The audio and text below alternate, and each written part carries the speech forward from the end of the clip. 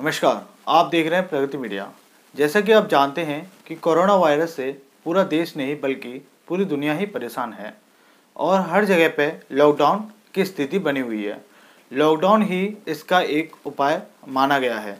Corona virus से काफ़ी लोगों का नुकसान हुआ है, काफ़ी लोगों की जान गई है व काफ़ी लोगों को कई तरह की परेशानियाँ आई हैं। लॉकडाउन हमारे भारत देश में बहुत ज़रूरी माना गया था, इसलिए हमारे माननीय प्रधानमंत्री जी ने लॉकडाउन किया था। लॉकडाउन को लेके काफ़ी चर्चाएँ आई हैं कि लॉकडाउन गलत था या कुछ लोगों ने ये कहा कि लॉकडाउन को नहीं करना चाहिए, लेकिन वास्तविक रूप में देखा जाए तो लॉकडाउन ही हमारे भारत देश को बचाने का एकमात्र उपाय था, यह एकमात्र उपाय है। हमारे देश में अभी फ़िलहाल में कोरोना केस के जो केस देखे जा रहे हैं, वो करीबन साढ़े उनतीस हज़ार के करीबन केस हो चुके हैं।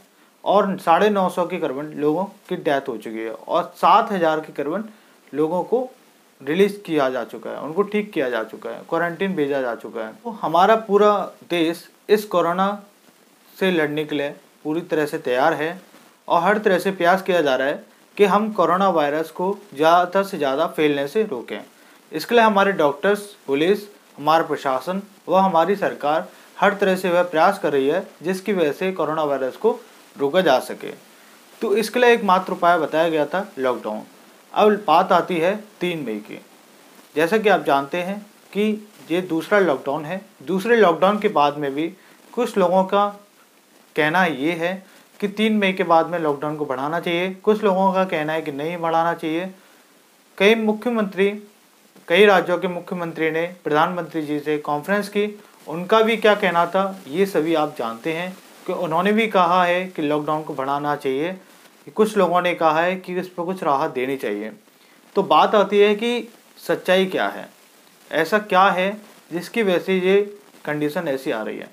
तो आपको हम बता दें, जैसा कि मैंने भी आपको केस स्टडी बताई है कि अभी भारत में कोरोना वायरस के जो केस हैं, साढ़े उनतीस हज़ार केस हैं और साढ़े नौ सौ के करीब लोगों की डेथ हो चुकी है और सात हज़ार के करीब लोगों को रिलीज़ दिया जा चुका है। तो हमारे डॉक्टर्स काफ़ी अच्छे, बेहतर तरीके से काम कर रहे हैं और हमारा एक आंकड़ा ये था कि तीन मई तक शायद तीस हज़ार के ऊपर चला जाए, लेकिन आज अट्ठाईस तारीख को ही तीस हज़ार के आसपास में हो गया है। तो हमारा शायद ये हो सकता है कि तीन मई तक ये पैंतीस हज़ार के ऊपर भी आंकड़ा चला जाए।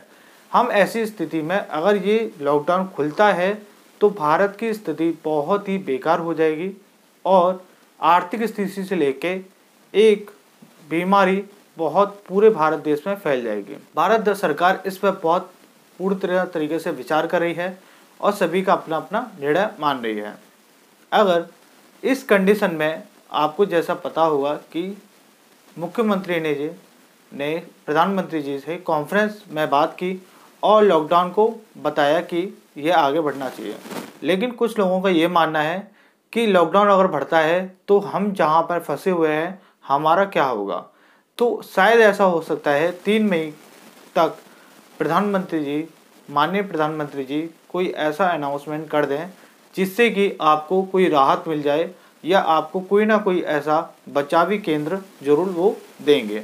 जैसा कि आपको पता होगा, उत्तर प्रदेश के मुख्यमंत्री आदित्य योगीनाथ जी ने भी करीबन 328 बसें बेच के करीबन दस हज़ार के करीबन लोगों को अपने उत्तर प्रदेश लाया गया है।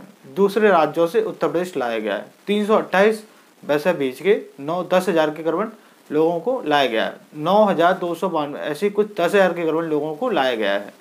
मध्य प्रदेश सरकार भी पूरे जोश में लगी हुई है कि दूसरे राज्यों से जो हमारे फंसे हुए लोग हैं, उनको भी लाया जाए। तो हर सरकार, हर राज्य अपने अपने प्रयास में लगा हुआ है और हर तरह से आपको एक साहस देने का प्रयास कर रहा है। इस समय हमको क्या करना चाहिए? इस समय कि 99 परसेंट है कि लॉकडाउन बढ़ेगा। इसमें अगर एक परसेंट लॉकडाउन नहीं बढ़ता है तो भारत की स्थिति बहुत ही खराब होने वाली है। हर तरह की परेशानी आने वाली है। भारत आर्थिक स्थिति से देखा जाए तो भारत की कंडीशन बहुत हद तक नाजुक है। भारत में ऐसे कई लोग हैं। भारत में जो ऐसे काफ़ी मिडिल क्लास के फैमिली हैं या गरीब फैमिली हैं, वो इस स्थिति को संभालने के लिए अभी तत्पर नहीं है। तो लॉकडाउन बढ़ेगा, आप लोगों को सब्र रखना है, धैर्य रखना है और भारत सरकार का जो फैसला है, उसको आपको अटल लेना है। हम लोग भी लॉकडाउन में हैं। हम जाना चाहते तो जा सकते थे, लेकिन हम नहीं गए हैं। हमने लॉकडाउन का पूर्ण तरीके से पालन किया है। काफ़ी लोगों की मदद की है और जहाँ पे हमारी ज़रूरत होती है वहाँ हम मौजूद होते हैं। हम कुछ दिनों से आ, वीडियो पे नहीं आ पा रहे थे। एक हमारा मुख्य कारण लॉकडाउन का था। हम इसमें काफ़ी जो हमारे रिपोर्टर्स हैं जो टीम है उन लोगों के हम सहायता करने में लगे हुए थे। उन लोगों को समझाना या कोई भी चीज़ उन्हें जहाँ पर दिक्कत आती थी अधिकारी से रिलेटेड तो वहाँ पे उन्हें हेल्प की जाती थी।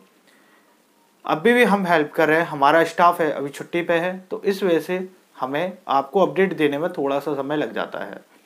तो इसके लिए हम क्षमा मांगते हैं। हमसे काफ़ी लोगों ने कहा है। तो हम इसलिए ये वीडियो आपके सामने लेके आए हैं। तो दोस्तों, आप अगर लॉकडाउन में फंसे हुए हैं तो आप अपना धैर्य बनाए रखें और आप सभ्यता से काम लें और आप जल्दबाजी ना करें। आपने कुछ ना कुछ तो अपनी पूंजी बचाई होगी या आपने कुछ ना कुछ तो सेविंग की होगी। आप उस सेविंग का यूज़ करके आप कुछ समय तक जहाँ हैं, वहीं पे आप रह सकते हैं। अगर आपको पैसे की संबंधित कोई दिक्कत आ रही है, जो वहाँ का आसपास का एरिया है, जहाँ या आपको किराएदार है, आपका मकान मालिक है, उससे आप रिक्वेस्ट कर सकते हैं कि आपको वो एक महीने तक अगर छूट दे सके तो। इसके लिए आप भारत सरकार या पुलिस के बड़े अधिकारी से भी आप सपोर्ट ले सकते हैं। दोस्तों, मैं आपको एक जानकारी और देना चाहूँगा। कि बहुत सारे लोग हैं जिन्हों जो कहते हैं कि हमें सर अपडेट नहीं मिल पाता है। तो मैं आपको बता दूँ, हमारी जो वेबसाइट है, हमारा जो पोर्टल है Pragati media dot O R G वहाँ जाके आप हर अपडेट को ले सकते हैं। आप Pragati media dot O R G Pragati Google पर प्रगति मीडिया डालेंगे, हमारे पोर्टल आ जाएगा। वहाँ जाके आपको हर तरह की अपडेशन मिल जाएगी। दोस्तों, आज की ये वीडियो हम यहीं ख़त्म करते हैं। नमस्कार।